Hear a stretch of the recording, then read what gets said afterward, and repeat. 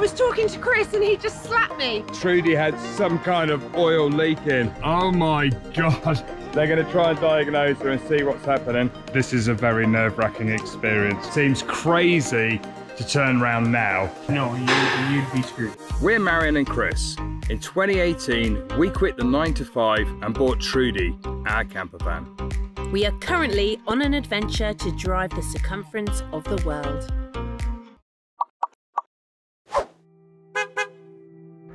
At the end of the last episode, we realised that Trudy had some kind of oil leaking.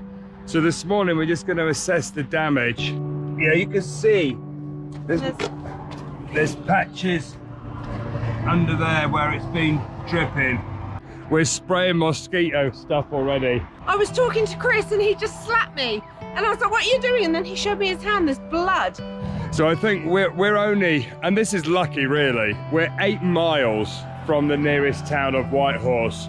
We could have been in Prudhoe Bay or in the middle of nowhere This is and when this we happened. say this is when we say our guardian angels are with us. And I think they really are. So although it's happened, it could be so much worse. So I think the first thing we need to do is check the oil just to make sure that we're not going to damage Trudy driving her back into town. And then we're going to go find a garage. The hood. See, I'm sounding American now. Pop the hood. Ugh.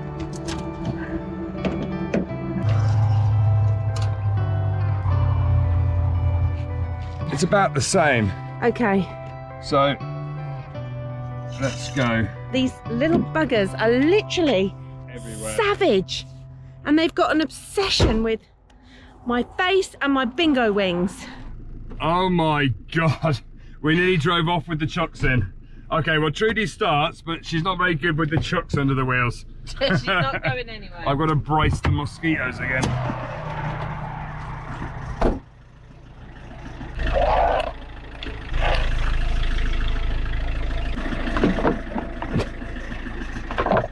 I'm in.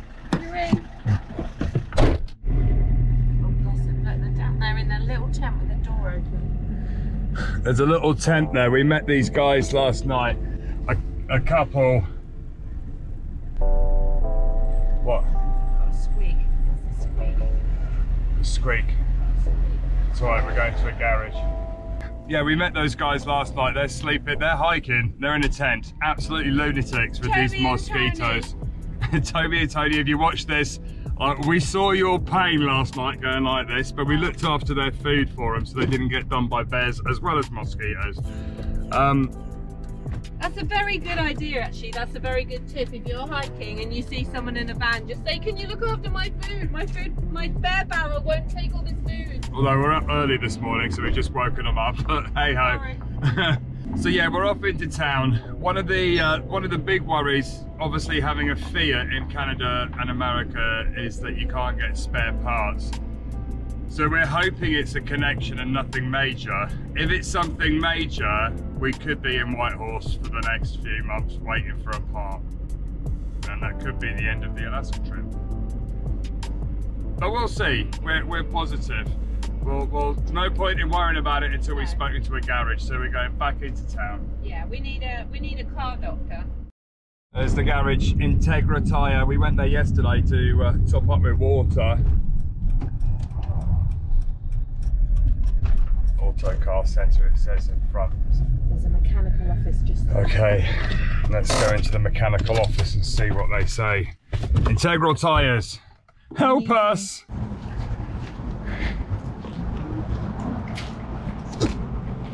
Last night before we went to bed, we put the chocks in our camper and we noticed there's some leaks on the floor. And obviously, because of the situation and where we are, we just wanted somebody to have a look if possible to tell us, oh my god, your van's gonna explode. We need help. Yeah, we need mechanical advice. It's Um, a small van, it's, it's a a Fiat. Ducato. Yeah. But don't let that put you off it. It's fine. Oh, thank you. That would fit in my van perfectly. Power steering or what? It looks, uh, the steering fluid looks okay, I checked it. But, yeah, but if you can. We're not mechanics. Yeah. So the guys in the store were like, if there's any problems with a Fiat, you got trouble because you can't get the parts. But they're going to look at it and uh, try and assess it. Although we did just confuse him with the right-hand drive, I think. I've done the same myself. I've got into a taxi and uh, I'm actually in the steering wheel and it's like, what's happening? Yeah, but they're looking at it straight away, which is absolutely amazing. They might even be able to help you rattly muffler, love. Oh yeah. Things, I'm more than happy to take a look. Yeah, but you don't know I what you're going to honestly- But I find. honestly can't guarantee. Okay. My mechanic in the UK is Yeah. very helpful Okay. and will literally, he's given me sheets of how much fluid and how much stuff. So we could always get something So- sent over So we can always we do that. to. If you're willing to work with us and, and, and make it happen, we can we can cut, Well, let's bring it, it is. forward. Yeah, let's see. Hopefully it's a, it's just a loo- loose bolt. Exactly. there you go. She's going in the garage. They're going to try and diagnose her and see what's happening. I Oh. can't believe the mechanic looks just like our friend Matt. Matt, Julie, he's your he's your doppelganger. Yeah.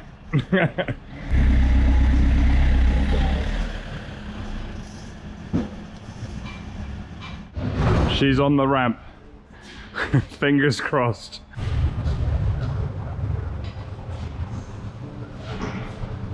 This is a very nerve-wracking experience. I have a lot of faith, but I'm still very nervous because obviously that is everything, not just our vehicle, but our home. And we are in the Yukon. And we're jokingly saying, yeah, well, you know, it'd be all right. But Actually, ultimately, it's going to be a nightmare. And I know that some people would go, well, you're stupid to take a Fiat anyway, but that's that's we don't have an unlimited amount of money that we can just buy any vehicle. Exactly. We have to do with work with what we've got, and um, And Trudy is. messaged, I've messaged Ursel and he's pinged already. Oh, Ursula will send us the parts, I'm sure. Well, no, Ursula loves Trudy as much as us. I literally love Ursula. He's messaged me back because obviously he cares about Trudy. If you need any spare parts, um, I will buy them and I will send them with DHL or UPS. As you know, the Fiat is half Turkish, so I can find a spare part of Trudy faster than an Italian. I love, I love that. that. I have to add that we actually contacted um, Fiat to say we're about to do this world drive and do they want to be part of it? And, you know, hey, we're really cool. You want to come on this journey? And we heard absolutely nothing at all. Come on, Fiat. Come on, Fiat. What kind of company are you? You've got two old people on an adventure and you've got our lovely friend um, Ursula in Turkey who, like that, just wants to help.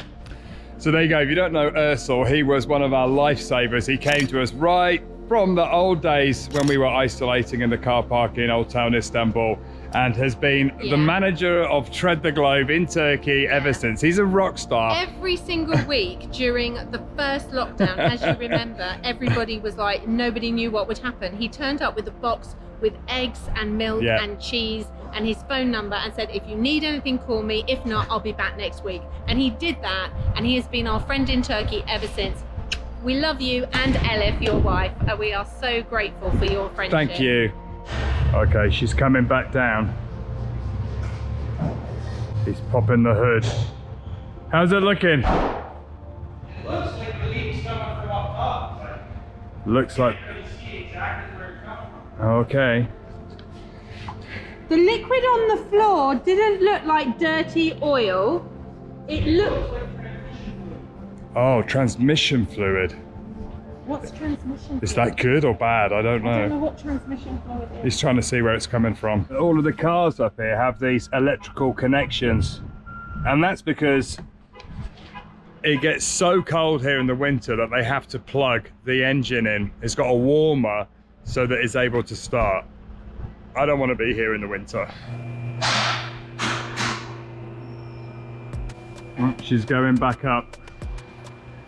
Oh, she's coming back down again. Oh, he's going to turn the. I think it must be something to do with the steering because he's getting him in there to turn the steering to check it. That's better than a leaking oil tank. Do you know, there is nothing better in life when you have a mechanical issue rocking up to a garage where somebody says, Never worked on a Fiat, but let me have a look, rather than, No, it's a Fiat, can't do it. Yeah, exactly. Can do attitude. Can do attitude is our survival mechanism. If not, we've got Ursula at the end of the phone. We got good news or bad news? Well, it's a little bit of both. Okay. It's a little bit of both. Found where the leak's coming from. Okay, that's good. It isn't really anything major. But unfortunately, good. it's probably something you're gonna have to get from back home. Okay. It- oh, It's actually brake fluid that's leaking. Oh, it's brake or fluid. your clutch. Oh, for the clutch. Yeah, for your clutch because it's the flex hose that goes to the slave cylinder that's actually got a bunch of little pinholes in it just from age and wear and tear and Okay, so this is Trudy. So if you look up here, this rubber hose, you can see how it gets kind of oh, wet over here Oh, Yeah. because there's a, a few little perforations in that hose just from age and wear and tear and drying out. And, Okay. and it just it It's just dripping ever so slowly. It just slowly seeps out, and then when there's enough, it just blows back with the wind, and that's why you get all this mess back Oh, here. okay. So it's probably been doing it for a while and we haven't Yeah. noticed. Is it not like a standard hose? Is it a particular No, hose? it's a particular style of hose. There's basically these hoses are actually basically in three three kind of stages. They're made Okay. in three stages so that they actually hold pressure, right? Uh, because So- they're pressurized hoses. Yeah, because it's the same kind of hose that actually works for your brakes. Because it's actually everywhere, your isn't it? It's literally Yeah, but it's, everywhere. but it's just from wind swirling around and it Oh, takes it everywhere. And it's flicking it out and about. yeah, So we just every day check the check the oil, Yeah. check the brake fluid. yeah, you should be okay. Other question. We actually have dot five brake fluid in there. Do you have any spare or is there somewhere I can Is get there like an some? O'Reilly's Yeah. or a to top Napa? Yeah, Walmart, Canadian Tire. Do they uh, do dot five or do I? suppliers. Yeah. Yep. If Oh, we yeah. were to smash the windscreen on this, would do you think it's a standard size or would we be screwed? no, you, you'd be screwed. Here's another thick question then. The muffler Oh yeah. is a little bit old and it's starting to rattle quite. You probably heard it when Yeah. it started up. Do you think that's replaceable here? That's not. Somebody couldn't just put a new a, a new equivalent on on There- that. if you're able to find like a like a, a Midas muffler or a Speedy muffler, any Muffler muffler, that shop would- or exhaust shop, They could should probably say, do it. They can probably make one to fit. Yeah.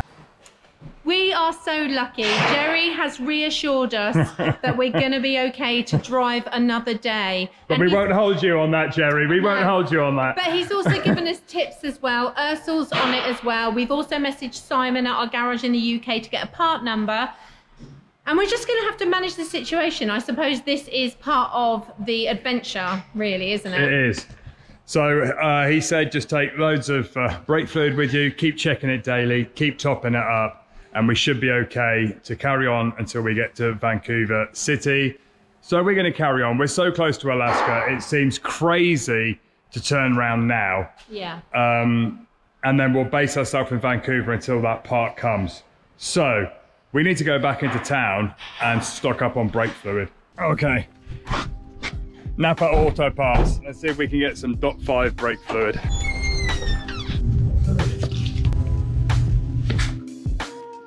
Hundred dot five. Okay, so we've jumped back into Trudy and now we're going to start the drive further west towards uh, Anchorage. We're going to head up towards Tok. I don't think we'll make it there today because it's an eight hour drive, um, but we'll see how we go. So we just come back to the rest stop. We did say that if the uh, the couple that were camping were still here, we'd offer them a lift, but they've already gone. So I reckon we'll make a quick coffee and then uh, rock and roll. Ah, we just started driving and these are the guys that we saw yesterday. How you doing? it's Toby and Tony! Bit heavy. Yeah, I'm, I'm a lot stronger than I look. Welcome to Trudy. so we have our first hitchhikers here in the Yukon, Tony and Toby from Germany.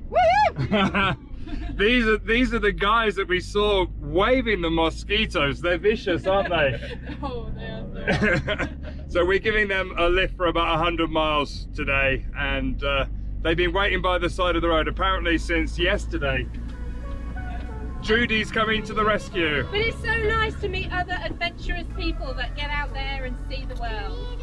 I think they're more adventurous yeah. being, being in, a, in, a tent in a tent with bears.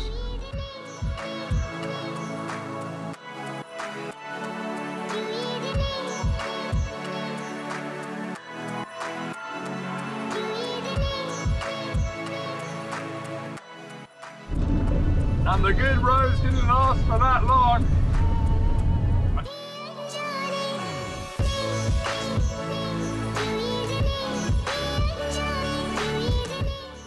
Every time a car comes past, we cringe We do. in case there's a rock coming for the windscreen, especially after the mechanic told us today we can't get a replacement.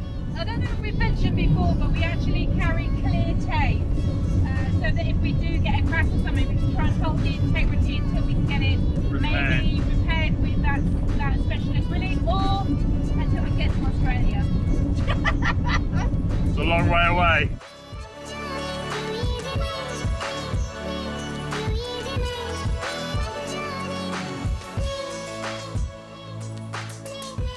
We've just stopped for a pee and I wanted to say thank you to Canada because your services are phenomenal. Not only do you have a lovely park area that we can stay at, toilets, very clean toilets, but there's also sometimes have these dump station po- ports as well.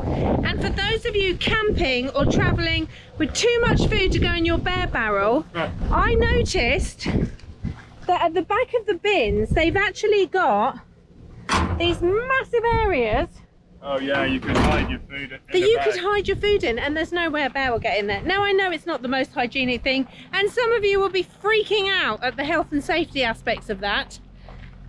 But it's just a tip that might work for you if you need it. So yeah, just next to the uh, the rest stop. Keep your trash clean. Oh, this is a cool. Look at this old bridge. Wow, that's a very fast flowing river, isn't it?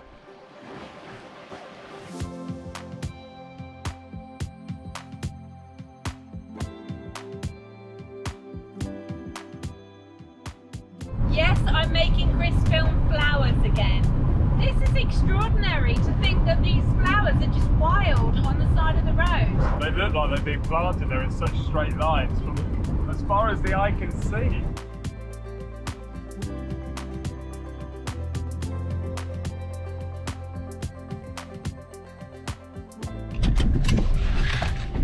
Just doing a quick U-turn. We just spotted a bear, so we're going to see if we can uh, On the side of the road. if we can see it. Very well behaved bear.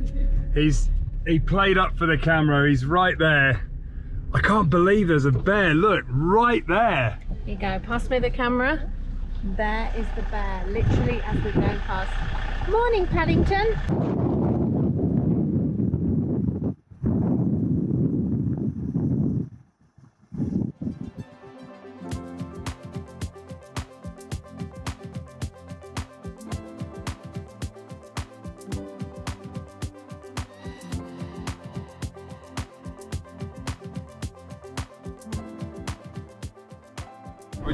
Driving past the most amazing lake. What's this lake called? Can you remember? Kluane. Kluane Lake. Lake. It looks like the coast of uh, Turkey or somewhere tropical. So blue.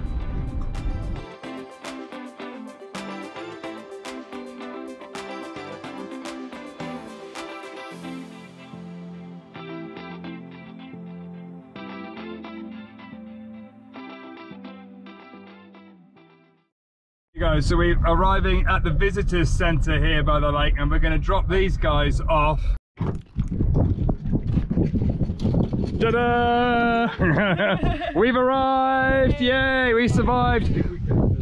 Okay guys, good luck on your travels. Thank you. Thank you. Thank you for the ride. You're more than welcome. and stay safe. Nice to meet you. Bye! Was so nice, those guys. They're hiking for a month uh, from Germany. They flew into Whitehorse. They're hiking the area for a month. Crazy with these mosquitoes, but there you go. They were saying that just five days ago there were no mosquitoes. They must have just all hatched out. Yeah, they said as soon as it got warm, they literally exploded. So we uh, we've got another five hours drive, and uh, should be hopefully crossing into Alaska later today. It's uh, it's nearly three o'clock.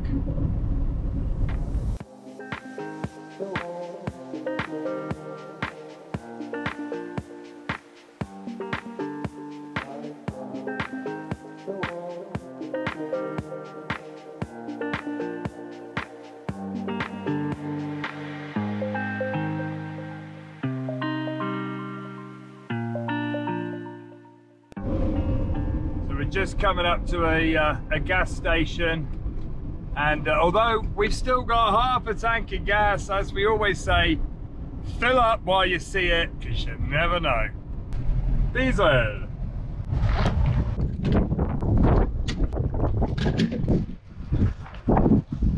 What you got? I got from the Yukon. Oh, that's amazing. I got the I drove I drove the Alaska Highway and loved it. Amazing. And I got the I drove the historic Alaska Highway, Canada, Alaska. Amazing.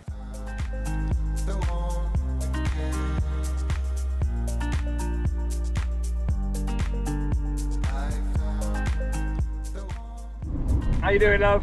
I'm doing really well, high concentration. I don't know how motorbikes do this road. This loose gravel and Holes. holes, big holes.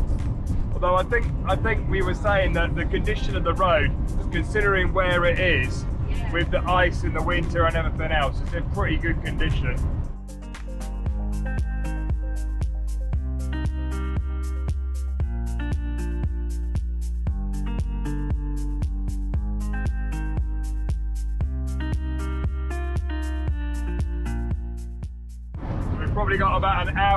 The uh, Alaskan border. It's just starting to look a little bit stormy in the distance there.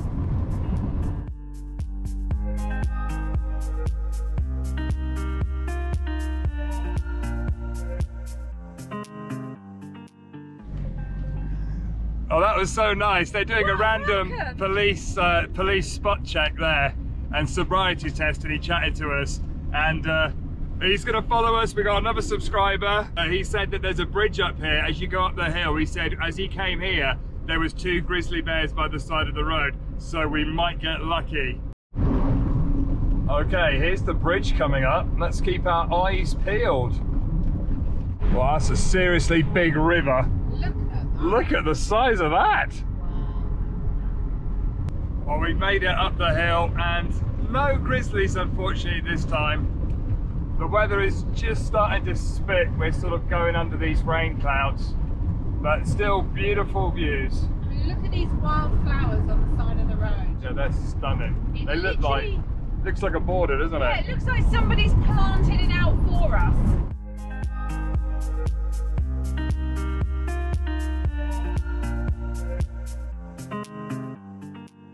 The problem with the rain is you can't actually see the potholes anymore. Chris has nicknamed them the van killers. Some of them would swallow Trudy up.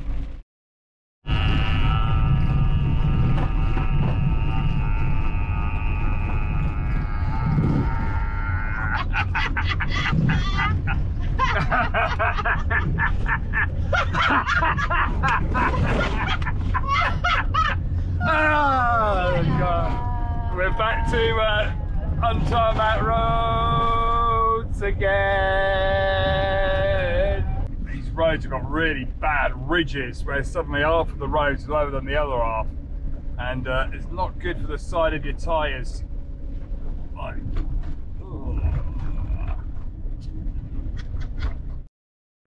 Welcome to Beaver Creek. This is the last town in the Yukon, baby, before we hit Alaska. It's, it's a funny little town, look. That's the motel. 24 hour self-serve diesel. And then uh, that's it, I think. Oh, there's the local shop. I know that because it says shop on the side of the building. welding, they've all got welding. Oh, there's another gas station and a motel. There you go, we're just coming up to the border crossing. So uh, fingers crossed we have a smooth one. And uh, we will see you on the other side because we it's never good to film border crossings. You can get in trouble. See you in America, baby. so that's the Canadian part of the border that we've just left. They don't stamp you out. There's no uh, there's no Didn't see anyone. crossing go on on this side, and it says that the American one uh, customs is 30 kilometers, so uh, about 15, 18 miles to go.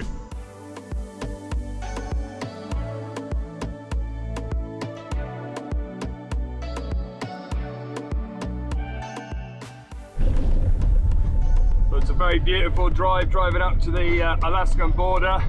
but uh, quite a few kilometers of gravel bumpy tracks.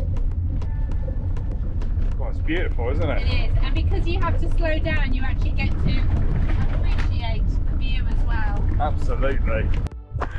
Just before the border crossing, they've got this welcome to Alaska sign Yes, they do. for a good selfie with Trudy in the background there. and then in true sticker style, the whole thing's full of stickers. We did stick one of Trudy on there. Marianne stuck one on there for those of you with good eyes. But I'm going back in the van because I'm getting eaten alive by bugs. They found me. Oh. okay, we are officially in Northern Alaska. We're in Alaska, baby. yeah, baby. The uh, the lady on the customs, the customs officer was absolutely lovely. And we ended up chatting for ages about our adventures and her family and everything. So, so nice. So uh, a very warm welcome here to Alaska. We've still got about an hour and 40 uh, till our destination. And, oh,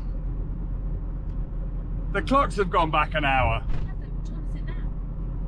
Five, it's 5.48, which means we're nine hours behind the UK. My brain, it gets so hard to speak to people. Okay, we're nine hours behind England.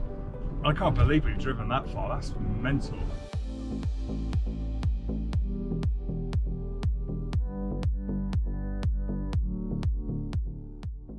I love these people that do all these adventurous, crazy trips. Oh, like us. Never thought of myself as crazy before. Uh, storm's following us, it's over there. We're right on the edge of it. Well, maybe it's stormy tonight, my sweet. The light is nuts.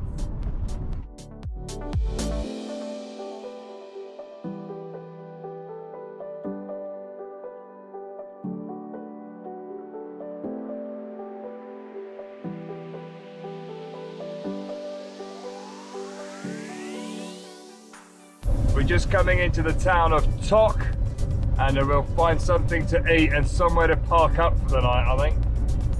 Because it's uh, our destination and it's 8 o'clock, which is 9 o'clock our time because the clocks went back. So there we are, Fast Eddy's restaurant. There's loads of other vehicles parked up here, so we're gonna park up here for the night. We're in Alaska, baby. We've done it, baby. It's been a good day, a long day. We made it to Alaska and we're going to finish the episode here. We hope that you enjoyed this episode. We will see you next time after a long needed rest. Bye for now.